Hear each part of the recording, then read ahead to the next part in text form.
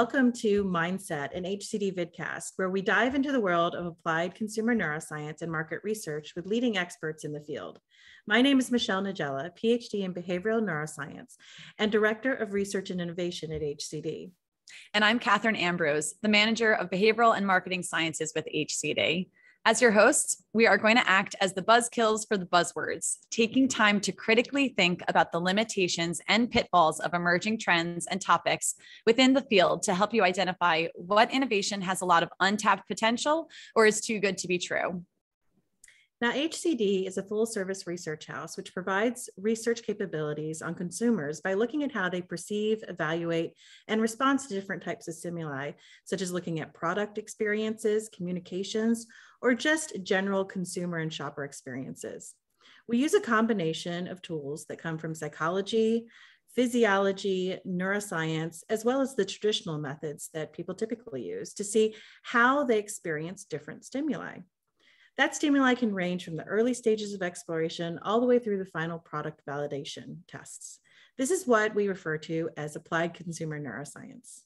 So stick around for more curious conversations as we chat our way through the ever evolving space of consumer science.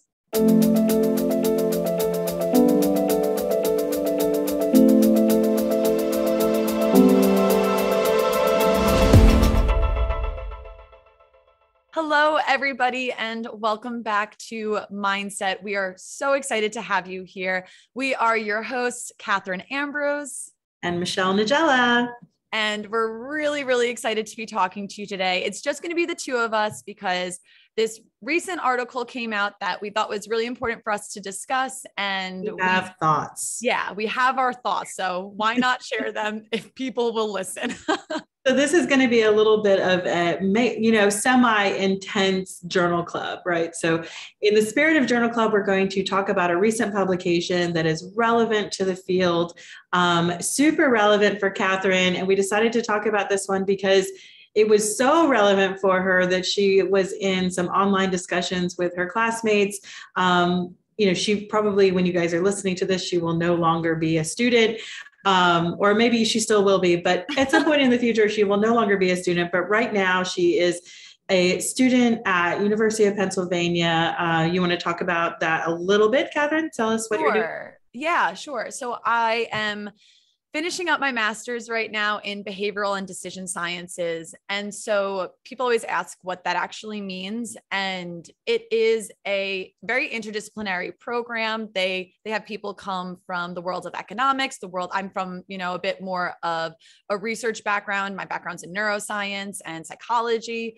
They have people come in that are interested in um, policy and policy making. And so there's really this big combination of things that are shared and, and thrown together because the world of humans is complex and complicated but the whole point of the program is really to think critically about research and be able to do behavioral science which is generally about um, about humans. There's really not too much there's not too much research about animals. But it's and, kind of specifically in decision sciences right? So it's even like exactly. the name of the program is decision sciences and I think a lot of that has like to give some historical perspective that we've talked a little bit about is you know the the Church of Kahneman, as I often call it. Um, he isn't all of behavioral economics, however, right? So Daniel Kahneman with his book Thinking Fast and Slow, all of that became really super popular for a bit, maybe like um, I don't know, eight, five years ago, um, where every meeting you went into with a client, they were like, What about system one? How are you measuring system one? And interestingly, that's all kind of fallen out of favor. I do feel like, you know, there are these cycles that everybody goes through of popularity where, you know, 15 years ago is neuromarketing, neuromarketing, neuromarketing. And then the language changed a little bit because there was some bad juju going on with um, neuromarketing as a term. And they started using a lot of like non conscious discussion and saying implicit versus explicit, which led us more into the Kahneman space of people talking about system one versus system two. And that that's kind of fallen out of style too. Um, unfortunately, for some companies that actually changed their name uh, to reflect that fad, but the I don't want to say it's a fad, but the terminology has changed to be behavioral sciences, which is a little bit more all encompassing. But when it comes from the academic side, I think it has been focusing more on decision making and influencing decision making exactly. which still is in the wheelhouse of behavioral economics which you know again if you think of Thaler or if you think of kahneman really is about what is driving your decision making how are people making decisions um, and brings us to the world of nudges. So kathryn what is a nudge?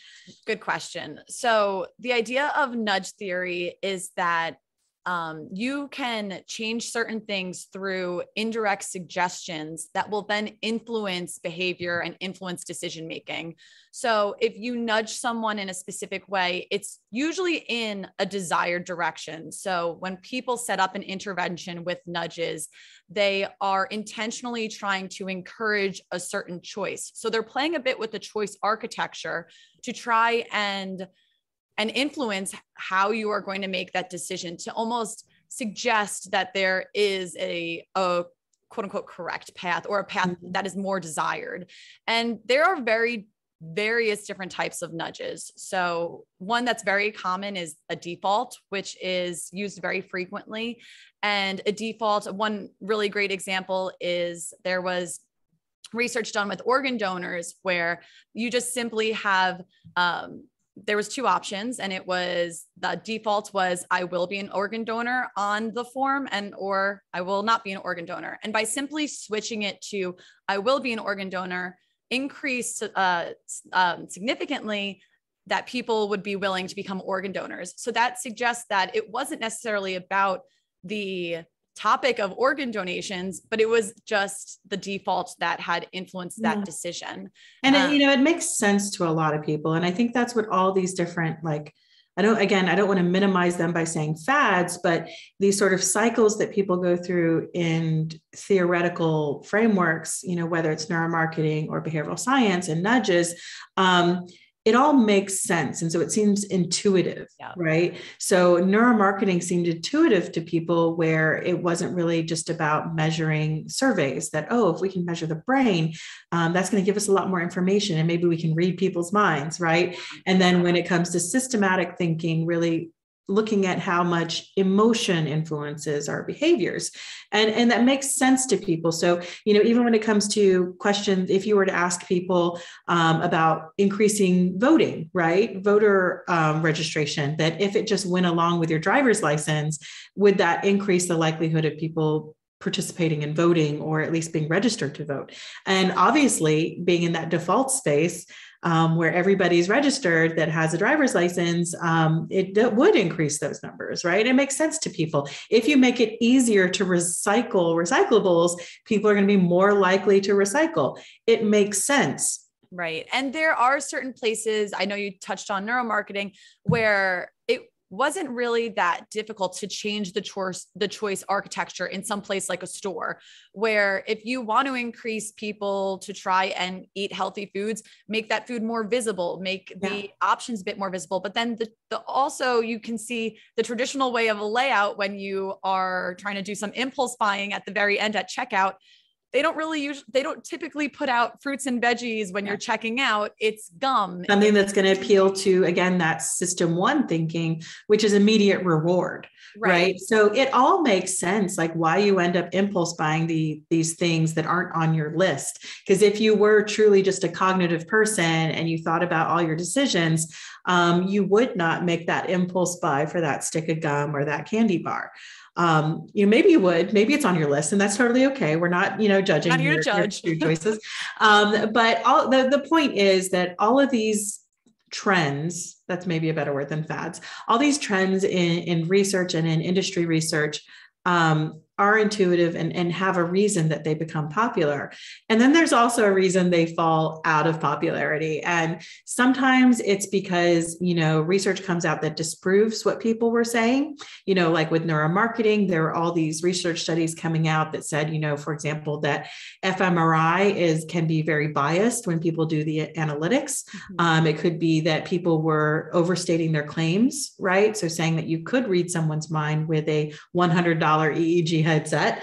Um, you know maybe it is you know this sort of day of reckoning that came with people focusing only on system one understanding no we're not entirely emotional creatures. We have cognitive things that go on that influence our decision making as well. We're not all id we are also ego and super ego right? Like we're there's a lot going on with us um, we're complicated creatures, as Absolutely. Kathryn was saying earlier. So then here we are with this super popularity of behavioral science and nudges. You have um, academic institutions all over the world that have all of these programs going right now where people can go and get masters like Kathryn's doing. They can learn really strong analytical skills and learn about theories of human behavior, which are so important in industry. And now you're also seeing um, a lot of jobs being advertised and the whole entire departments being organized around choice architecture and nudging and behavioral sciences and behavioral architects. And so, taking that into account, that the popularity of this particular trend, again, it's intuitive. It all makes sense that if we're looking at consumers, we ultimately are looking at their behaviors, which are their decision making. Are they going to purchase this product? Are they going to reuse this product? Are they using the product correctly? All these sort of questions come down to behavioral sciences approaches, which include economics and include psychology and neuroscience and statistics and all these things that work together to help us predict ultimately and, and as well as shape yeah. what consumers are going to do.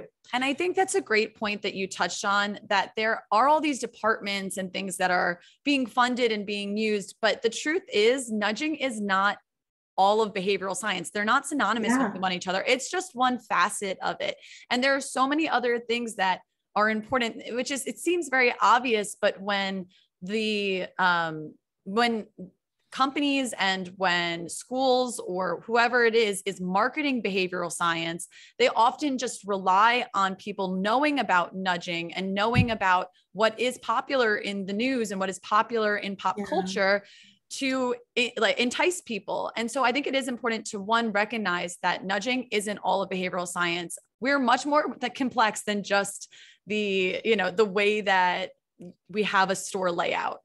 There's much more to it than that. And we really behavioral science as a whole concept is not new either. It just has a new name. Exactly. This research and this approach has been used for hundreds of years. I mean, marketing, you know, to help people make decisions to influence people's behaviors has been done since day one right, right? that's what that's marketing is really all about. That's the point getting people to recognize your brand and to buy your product. Um, so none of it's actually new but the name itself is new. And you know yes some of the techniques are new as well uh, but there's a lot of excited people out there which is great right um, but there's you know i'm a skeptic i'm a pessimist and so the way i always like to approach all these things because i've seen a lot of these fads come and go yeah. um, is that you have to be aware that you have to change with the science, right? So you have to be aware that science isn't perfect. It's always self correcting. Um, you have to be aware that you should never put all of your eggs into one basket because it's not all going to be EEG and it's not all going to be facial coding. It's not all going to be nudges, right? Um, there are so many other factors to consider. We're not just non conscious, unconscious beings. We are not just emotional beings. We have all sorts of things going on with us a whole you know rainbow of inputs and contexts going on that that form our behaviors. So, so when we see an article come out uh my immediate reaction is like all right get out the popcorn because this yeah. is going to be a really entertaining ride. And yesterday kathryn texted me and you know she I, I almost feel like i should pull up the text but you know, she was saying oh my goodness like you know the bleep has hit the fan because um, in, in, these chat groups for the students um, that are in this space uh, because this new article has come out. Um, and so I'm going to share my screen, but for um, but for those of you that are just listening, we will, um, you know, just link to these. Uh, there will be three articles we're going to discuss. The first one, I thought it would be good, even though the all the um, excitement was over the second article that we're going to show. I, I, think it's important to look at the first article because this the article that caused all the ruckus was a reply, a comment on the original article. So the original article was titled "The Effectiveness of Nudging," where um, these uh, this group of researchers at Princeton University um, did a meta-analysis looking at studies that had done uh, choice architecture interventions in different types of behavioral domains. So, what do we mean about that? It, it's like when we look at behavioral domains such as food choice or other types of decisions that people make right kathryn? Yes. So there are there's this variety of domains that they use. It's behavioral domains where the intervention is taking place. So that could include something like the finance domain. That could include something like the food domain. So there's there's various areas that this um, that these uh, papers are being studied in. And so they're also taking into account the environment in which it's happening to see if there are any trends that are going on in specific domains that maybe it's nudging is more effective in one area than in another. Because again, this is a very large scale uh, analysis because it is a meta analysis. It's looking at a mm-hmm. bunch of different papers and is trying to decide is there an effectiveness to nudging and and what these um, what these researchers decided to do was they did this meta analyses and they found that there was, they noticed moderate publication bias. And for those who don't know what that means, and I'll just mention that a big part of behavioral science is also studying biases and associations. So that's just one area that is very important. But what is publication bias? And it, I think it's important to not only define it, but really recognize how not new publication bias is. Right. You know, so, so as someone who come, you know, I was in academia for a while and have published papers both in academia and in while in industry.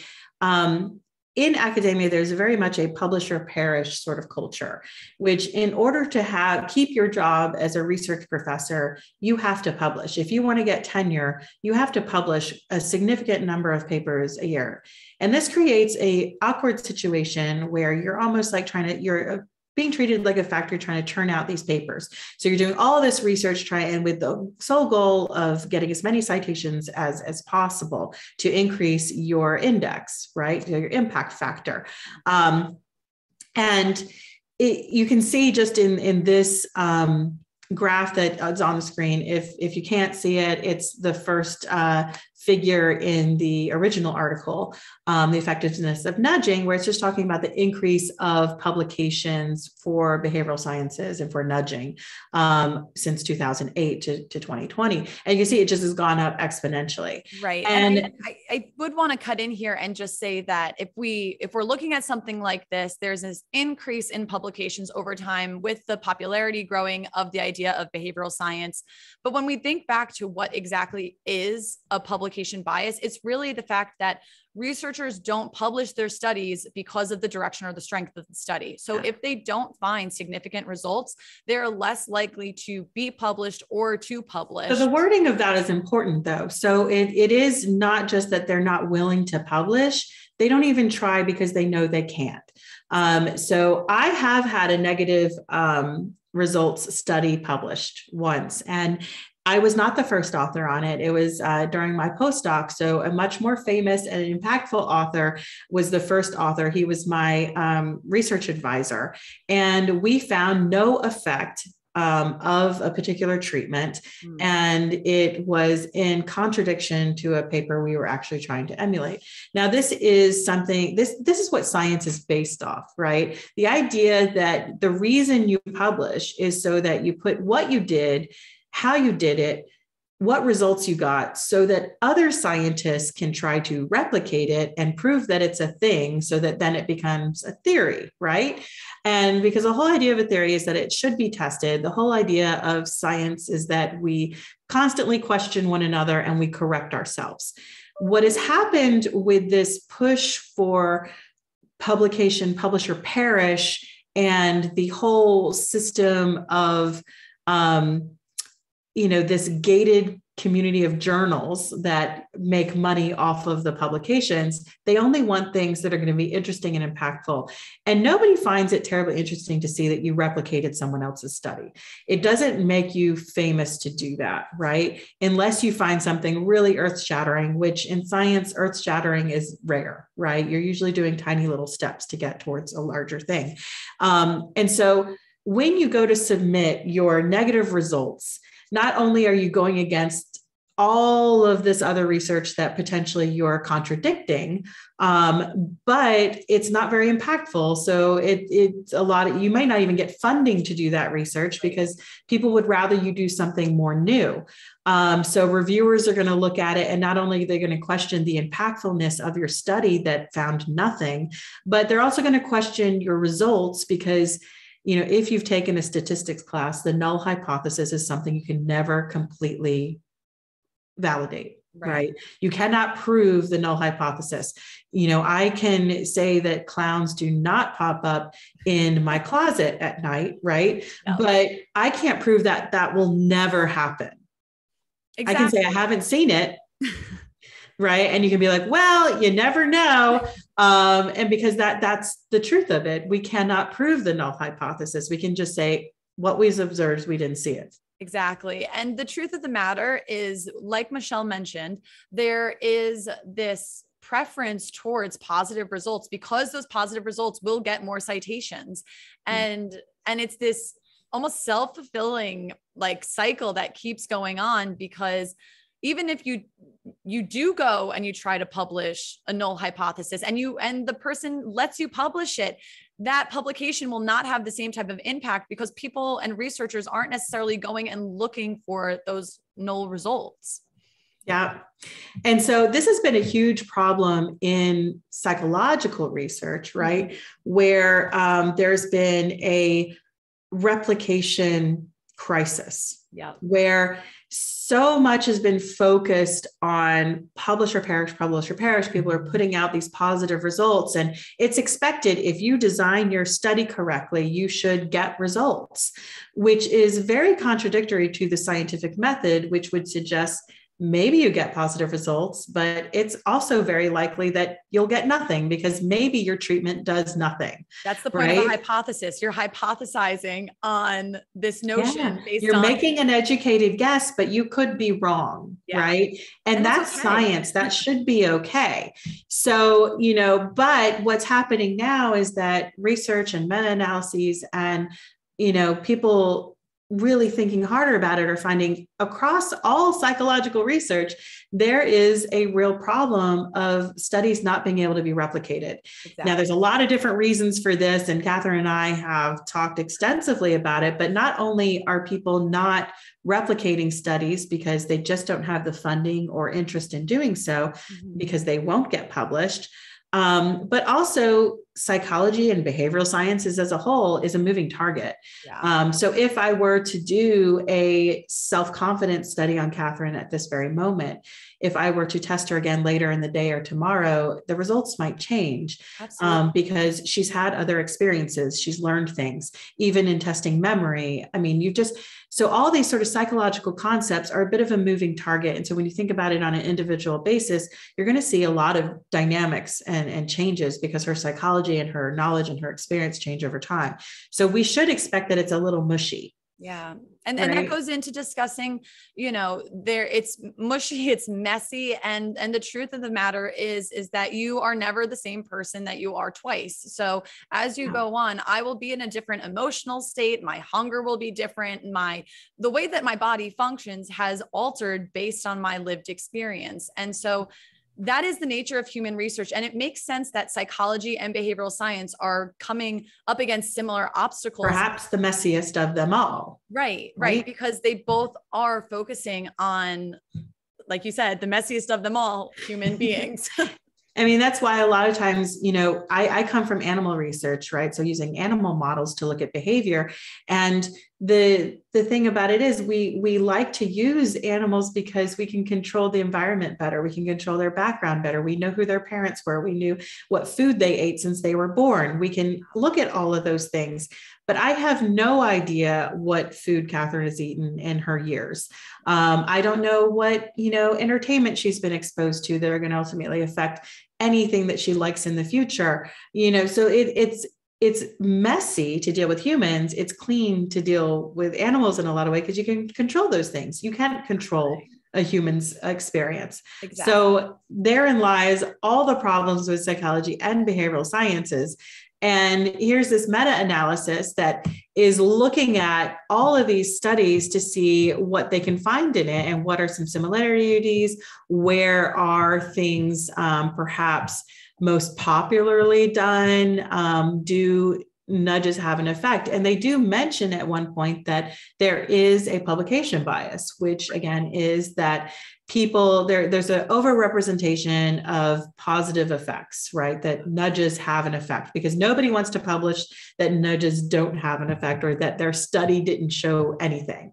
Um, so this is one of the things they found but not something they necessarily focused on correct Exactly. And the point that they didn't, well, they, when they address it, like I mentioned earlier, they viewed it as a moderate publication bias. So they, there is this understanding. And then the response to this, which we're about to talk about, is that they, this group of researchers disagreed and said, no, it's not moderate, it's severe. That there hmm. is when, when you, account for publication bias, there is really limited evidence that supports the idea that nudging has an effect. And that is a very strong stance to make.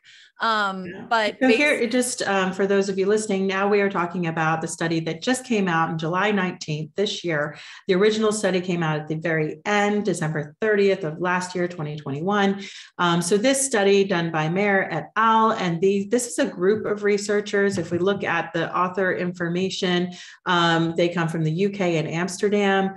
Um, so, you know, you can um, take a look at we'll link them as well but you can see that they're from university college of london they're from university of amsterdam um, et cetera in australia as well the deakin university there and so there's um, a, an interesting group of people that decide to reanalyze the data and exactly. so their big headline is no actually, if we look at this original article, there is no evidence for nudging when you adjust all that data for publication bias, because publication bias has such an impact that they're finding that there's actually no good effect of nudging, that it doesn't have a behavioral consequence when you try to shape someone's behavior. So, of course, for Kathryn's cohort of, of you know, and just other classmates, um, they're, you know, finishing up their degrees in behavioral sciences and this based on this whole idea of nudging and they're like oh no.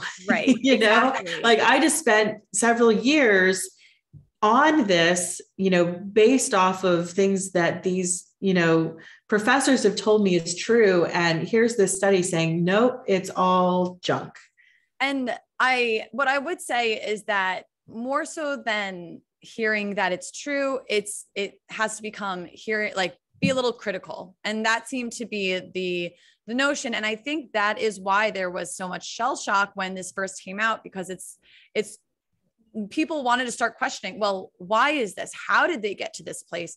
How can you make a claim like this? Because this is a very strong um, take to make to say that there's no evidence for nudging um, and when in terms of effects and the way that this the way that Maier decide et al. decided to go about this analysis was by using a different, more robust uh, approach. And so what they did is they it was a robust Bayesian meta-analyses. And by doing that meta-analyses, they were able to show that depending again, focusing on those domains where they focused on the same domains as the previous article, um, they noticed that there was, like I said, those limited, there's limited evidence towards the idea that there is nudging. However, even in this article, even though it didn't make the title, there are some places where the nudging is still effective. So yeah. this brings us to another point that there is this, again, focus on trying to get a catchy title, trying to get people to be interested in reading the article,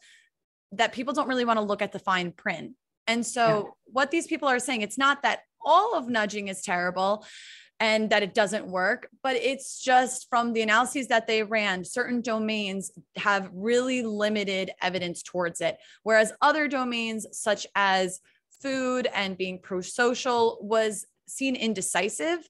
And that uh, when you look at something like finances, finances actually suggest that there still might be uh, something effective. There is evidence that's suggesting that nudges are effective. And and these authors do address that here. Yeah. It's just not necessarily the eye-catching thing that everyone first sees.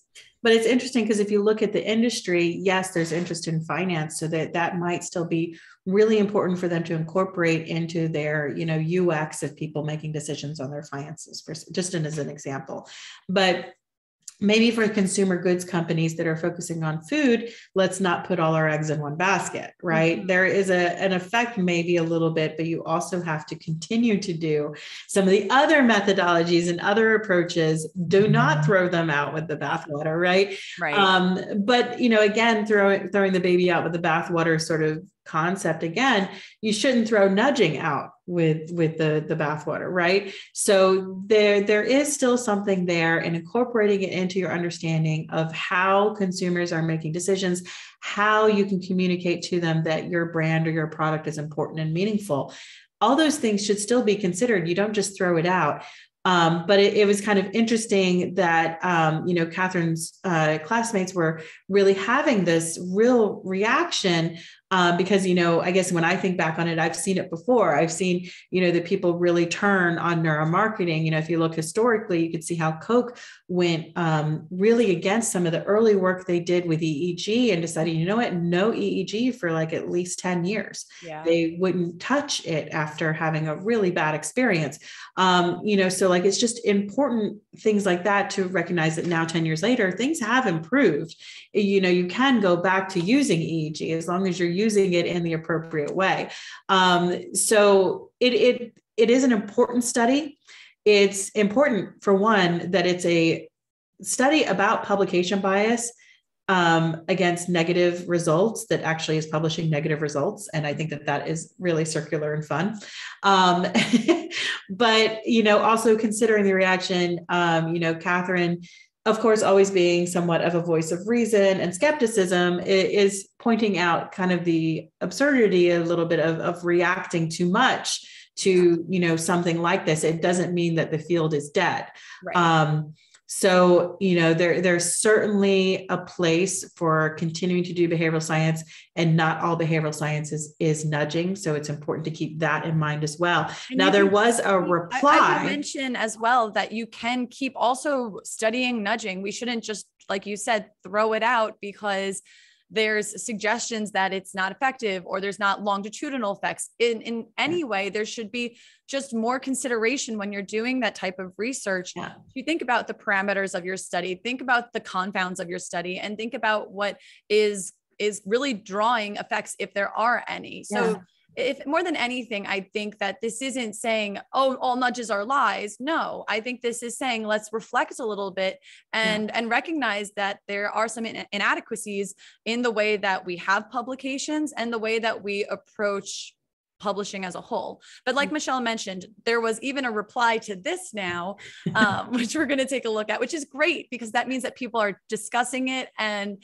and you know sharing their input yeah. So a lot of times when there is commentary on a paper, um, the editors of the journal will um, approach the original authors and give them an opportunity to answer the criticisms that are placed in, in some sort of commentary. So um, the original authors from uh, the original um, paper were able to respond on the same day that the criticism was put forth.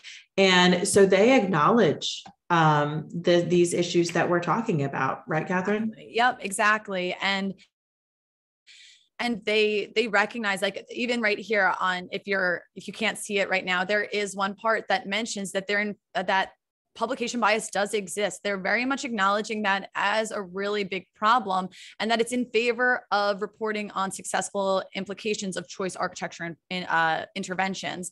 And so, if that's the case, there has to be really I, I think it's important to bring to light through these types of papers that we we have to be publishing more. And if we we can't publish with the really high impact journals at least get the papers out have things be more open source. And and what's really wonderful is that within these three articles there was uh, if you go to look at the pdf of the original article now they have in big red letters that there's been changes that have been made. Um, I'm not sure if you'll see it on here because it's this isn't the PDF, but They try right. to make it noted that this article has been updated, there have been changes made. So that way it's an acknowledgement of this is the scientific this method. does say the article has been corrected. Exactly. And I think that's wonderful. I think that that's we need more of this and and this is what should be making the impact because this is how science works. It's this mm-hmm. ever evolving, ever changing approach to trying to understand what the heck is going on. yeah, so I think the the thing here is stay vigilant, stay interested, stay excited um, this isn't the end of the world for nudges or behavioral science. isn't falling. this is science. This is what happens, and we should be rejoicing because this is exactly how it should go. People should be called out for mistakes they make and they should go back and correct them and credit the people that question them because that is how we should be operating as scientists. It's a, you know, the scientific community is about helping each other um, make science better right? Exactly. and so we should all be open to criticism. We should all be looking at everything with a critical eye. And don't just keep it to yourself. If you see something wrong you should be like you know approach that um that author and, and say you know what? I i'm wondering about this you know mm-hmm. or try to replicate. You know what? Try to publish that replication because yeah. again that's the whole point Exactly. and it's, you know, it's flattering too. Don't shy away from reaching out to authors. I can speak to to Michelle and my experiences that sometimes it feels like you're throwing things into a void. And so when somebody sometimes writes, you are. yeah. And, and if somebody writes back to you, it's really reassuring that people one are thinking about it, but two also want to expand on it that's a compliment. And that shows that there is scientific integrity that's taking place. With all that being said, though, Michelle, I do want to try and get to playing our game. All I right. have I have the 10 words all picked out. So whenever you're ready, I'm, I'm ready. All right, here we go. First one publications. Difficult. Nudging. Challenging. Behavioral science. Open. Replications non-existent null hypotheses uh, disprove research fun significance eh. this is like literally what i thought sam as i was writing this humans sorry humans humans complicated evidence Ah, you know, that makes me think of detectives. cool. And the last one I have for you is hypotheses. Um, so I guess what pops into my mind is uh, my six-year-old daughter uh, trying to say the word hypothesis. really so I can't even replicate oh, okay. what, how she does it, but it, it's very funny. Aw, maybe we'll put a clip or something in if we can get it of her just saying like hypotheses. But thank you all so much for tuning in and listening to our two cents about these articles. Like Michelle mentioned, we will link them below all three articles. But they, one great thing is that this is open access. So they want people to be reading it, they want people to be responding to it. And so out, go, go out there, be curious, be critical. And until next time, we'll see you yeah, don't give up. All right. Thanks, everybody. We will talk to you next time. Bye. HCD Mindset is produced by Helen Ross. For more information or updates, follow HCD Research on LinkedIn, Facebook, and Twitter at HCD Research Inc. and at HCD Neuroscience. Subscribe to our YouTube channel and be sure to rate, review, and follow us on Apple, Spotify, or wherever you listen to podcasts. Thank you and stay tuned for more curious conversations.